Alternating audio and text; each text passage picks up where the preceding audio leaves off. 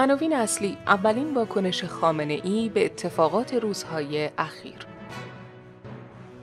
دادستان خوزستان مردم معترض را به سرکوب شدیدتر تهدید کرد. و بیانیه جبهه ملی ایران آخرین سال حکمرانی حکومت جمهوری اسلامی است. به کیوسک خوش آمدید.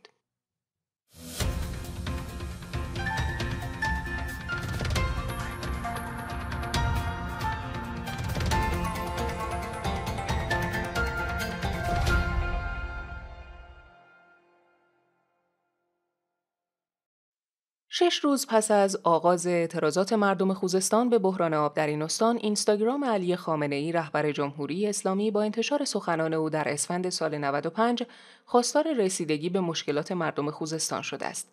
اینستاگرام خامنه ای با انتشار عکسی از سوسنگرد این بخش از سخنان رهبر جمهوری اسلامی در پنج سال پیش را منتشر کرده است که گفته بود مسئولان وظیفه دارند که به مسائل این روزهای خوزستان رسیدگی کنند و اگر کسی به فکر مردم باشد نمی‌تواند در مقابل مسائل دشوار خوزستان راحت بماند و این وظیفه قطعی، فوری و همیشگی حکومت هاست که به فکر مردم باشند. از دو روز پیش مردم خوزستان مستقیما خامنه ای را هدف شعارهای خود قرار دادند که این اتفاق باعث بالا رفتن حساسیت ها نسبت به اولین واکنش خامنه ای درباره اعتراضات اخیر شده است.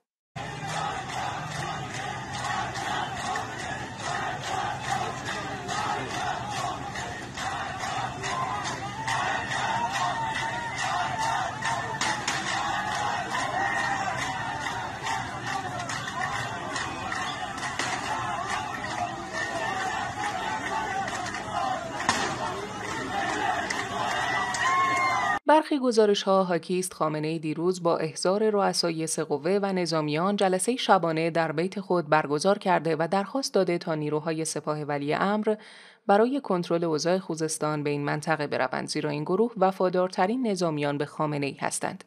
این روزها با ریزش نیروهای محلی ناجا، نیروهای بسیج و سپاه از استانهای دیگر به خوزستان آمده و با بتن کردن یونیفرم‌های ناجا به مردم حمله می کنند. اعتراضها در شهرهای مختلف خوزستان همچنان ادامه دارد و به مناطق شرقی تر این استان سرایت کرده و اعتراضات شدید در شهرهای ایزه، بهبهان، دزفول و سوسنگرد رنگی سیاسی به خود گرفته است.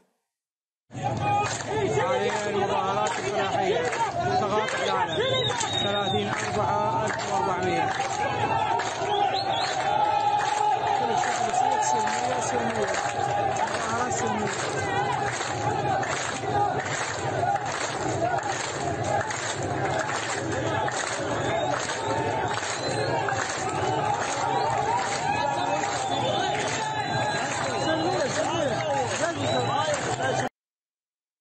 گزارش ها و ویدیوهای منتشر شده توسط کاربران شبکه های اجتماعی در شامگاه چهارشنبه سی تیر 1400 از شکلگیری تجمعات اعتراضی در چند شهر استان خوزستان برای هفتمین شب پیاپی حکایت دارد.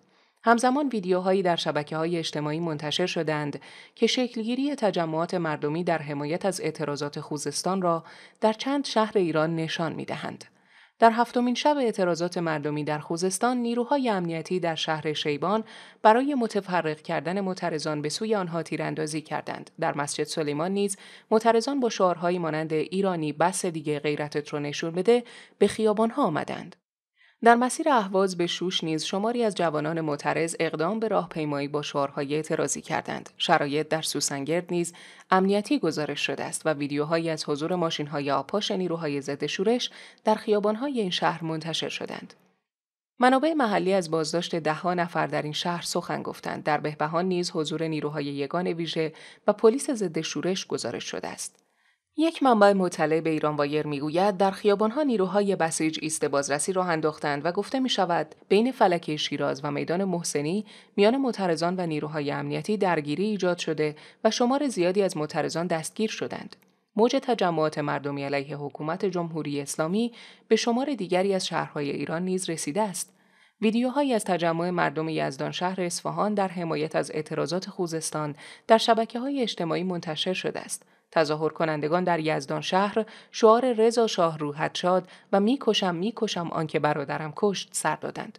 گزارش های تایید نشده از تجمعات اعتراضی در کرج و نیز در استان کردستان منتشر شدند که تا لحظه انتشار این خبر امکان تایید یا رد مستقل آنها وجود ندارد. فضای شهر تهران نیز در روز چهارشنبه سی تیر امنیتی گزارش شده و ویدیوهایی در فضای مجازی انتشار یافتند که در آنها حضور نیروهای ضد شورش در زل شمالی میدان آزادی به چشم می‌خورند. دادستان عمومی خوزستان شب چهارشنبه سی تیر ماه 1400 با انتشار بیانیه‌ای با بیان اینکه مطالبات به حق مردم خوزستان در خصوص حق آبه استان قابل فهم است همزمان مردم معترض خوزستان را اختشاشگر مزدور بیگانه منافقین کوردل تجزیه طلب و عناصر پلید ضد انقلاب نامید و آنها را به برخورد با شدت هرچه تمامتر تهدید کرد. در متن این بیانیه که خبرگزاری فارس منتشر کرده آمده است به اختشاشگران عوامل مزدور بیگانه منافقین کوردل تجزیه طلبان و عناصر پلید ضد انقلاب هشدار می دهیم که خط قرمز نظام اسلامی حفظ ثبات و امنیت پایدار اموال عمومی و اموال و کیان مردم شریف استان بوده و با ایجاد هر گونه ناامنی و بیثباتی و اخلال در نظم عمومی قاطعانه مقابله و با عوامل آن به شدت هرچه تمامتر برخورد می شود این اظهارات در حالی صورت می‌گیرد که به گواه شاهدان عینی در طول هفت شب تجمع اعتراضی در اکثر شهرهای استان خوزستان هیچ گونه آسیبی به اموال عمومی و های مردم از سوی معترضان وارد نشده است. یک منبع آگاه به ایران وایر که در اعتراضات اهواز شرکت داشته است می‌گوید مردم معترض حتی یک خط روی اموال عمومی شهر نینداختند. در محله کوی علوی یک بازارچه وجود دارد که همیشه مردم اجناس را پارچه می‌کشند و می‌روند. کسی به چیزی هم دست نمی‌زند. ماموران امنیتی چند شب قبل این بازارچه را آتش زدند که بگویند کار معترضان بوده است در یکی از ویدیوهای منتشر شده در رسانه های اجتماعی صدای زنی به گوش می رسد که خطاب به ماموران امنیتی فریاد می‌زند. آقا تظاهرات ما کاملا مسالمت آمیز است. چرا تیراندازی می کنید شما که آب و خاکتان را نبردند ما تظاهرات مسالمت آمیز می خواهیم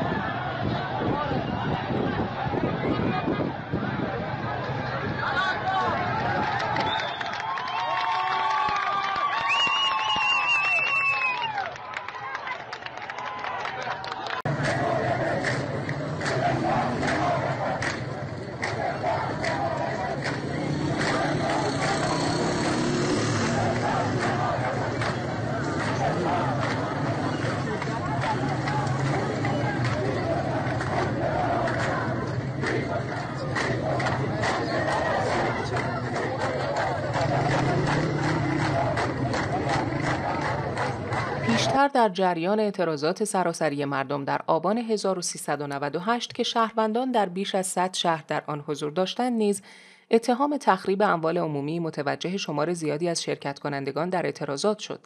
اما راویان و حاضران در اعتراضات شهادت می‌دادند که افرادی کارآموخته با تجهیزات و کاملا مسلط برای تخریب اموال عمومی در میان تجمع کنندگان حاضر می شدند. ویدیوهای متعددی هم از نیروهای یگان ویژه و گارد ضد شورش در رسانه های اجتماعی منتشر شد که نشان می‌داد ماموران با استفاده از باتوم و اسلحه های خود اقدام به تخریب شیشه اتومبیل های حاشیه خیابان، دستگاه های خودپرداز یا وسایل نقلیه عمومی می کنند.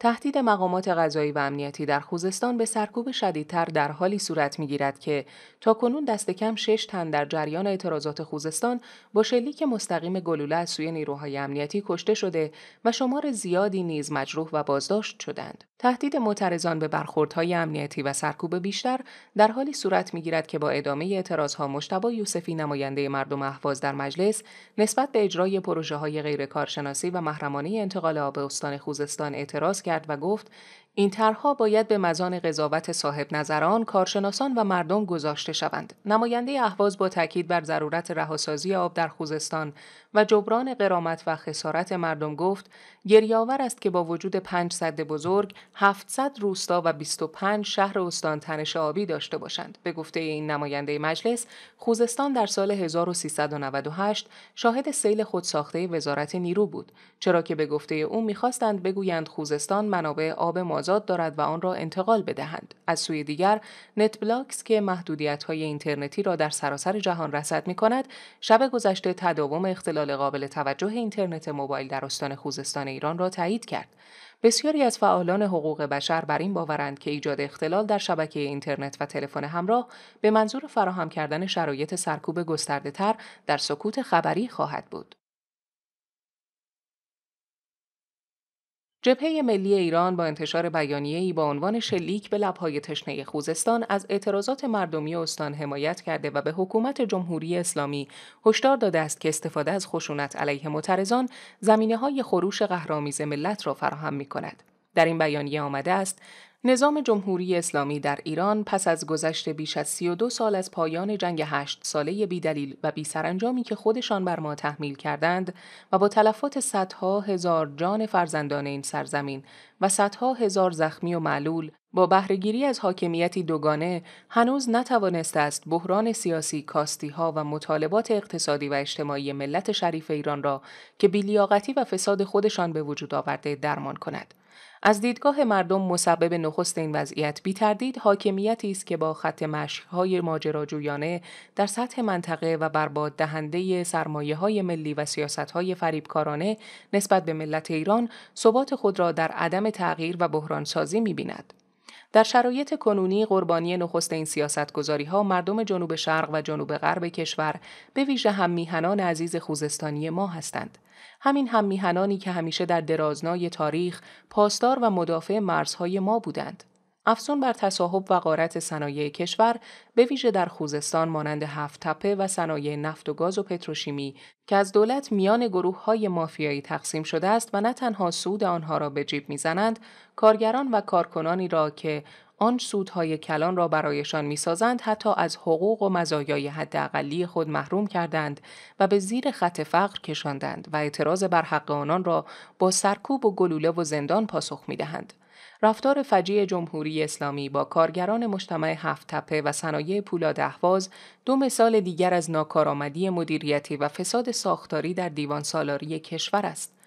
حکومتی که در طی دو سال ملتی را به گریستن برای لبهای تشنه امام سوم و خاندانش واداشته اکنون خود در جنگی نابرابر کارش به جایی رسیده که به روی مردمی که در فقدان آب برای خود احشام و کشت و کار خود آن هم در منطقه گرم و سوزان نه تنها گریه نکرده و به درمان درد مردم نپرداخته که به روی آنان آتش گشوده است. این گونه اعمال ددمنشانه می تواند زمینه های خیزش قهرامیز ملت را فراهم کند. لطفا برای بهتر دیده شدن کانال ویدیو رو like کنید، کانال رو subscribe کنید و علامت زنگوله رو هم بزنید تا از آپلود جدیدترین ویدیوها با خبر بشید. از همراهی و حمایت شما سپاس گذاریم.